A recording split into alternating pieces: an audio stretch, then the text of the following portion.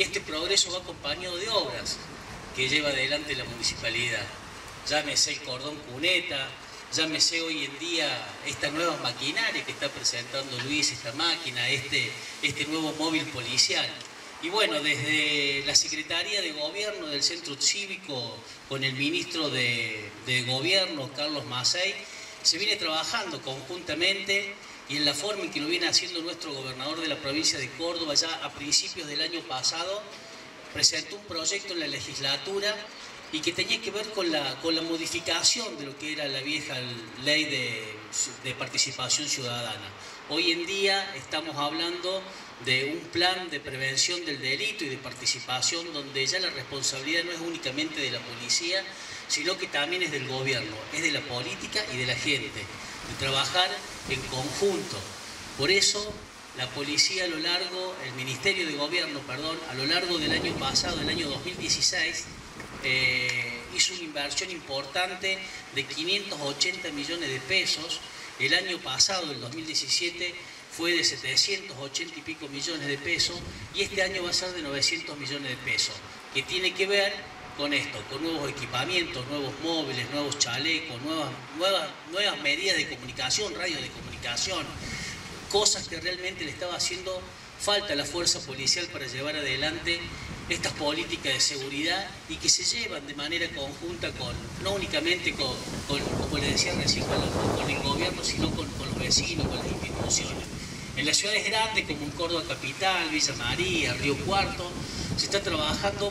en lo que es el trabajo por cuadrantes y en lo que va a ser en el interior de, la provincia, los distintos departamentos, como el departamento Río Cuarto, van a ser lo que son los consejos de seguridad departamental, donde entre todos vamos a llevar adelante las políticas de seguridad para el beneficio. Y estas políticas de seguridad, como entiende nuestro gobernador de inseguridad, eh, entendemos que es hija de la, de la exclusión. Por lo tanto, la tenemos que combatir con inclusión. Y en eso el gobierno de la provincia de Córdoba tiene una batería de programas como es el Vida Digna, como es el PPP, como es el Por Mí, como es el programa Pila, todos programas que tienen a la inclusión social para que aquellos que menos tienen, que se encuentran en situación de vulnerabilidad, puedan incorporarse nuevamente eh, a, la vida, a la comunidad, tener un trabajo digno y demás. Así que bueno, eh, sigue el progreso, Estamos próximos al gas, Luis, esa, esa obra tan importante para el gobierno de la provincia de Córdoba, una obra que son 1900 kilómetros de, caño que va a llevar el gas a, más de, 180 localidades. Ya hay 310 mil personas en la provincia de Córdoba que están haciendo uso de este servicio tan indispensable que cambia la calidad de vida, no únicamente de los vecinos, sino que también trae progreso a los pueblos, a las comunidades, que puede traer nuevas fuentes de trabajo. Y bueno, como lo estamos haciendo con Luis, realmente felicitarte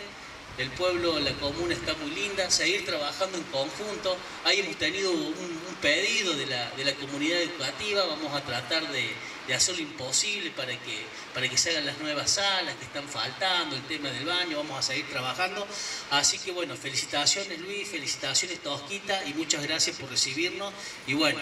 eh, felicitaciones, muchas gracias.